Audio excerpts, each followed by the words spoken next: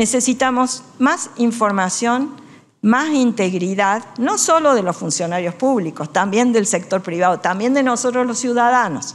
Necesitamos menos impunidad y menos indiferencia. Ahora, hay áreas de la política pública y áreas de la vida social que requieren que trabajemos seriamente para abordar el problema y mejorar.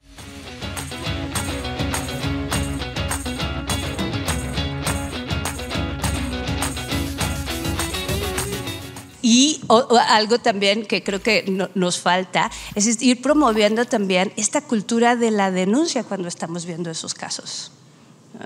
O sea, de nuestros representantes, de las organizaciones, del gobierno, porque si, no, ah, si, si, nosotras, si nosotros conscientemente no decidimos actuar, los valores se van a ir cada vez se, se, va a ir desgastando y entonces ya ni la honestidad, ni la transparencia, ni la información, ni la colectividad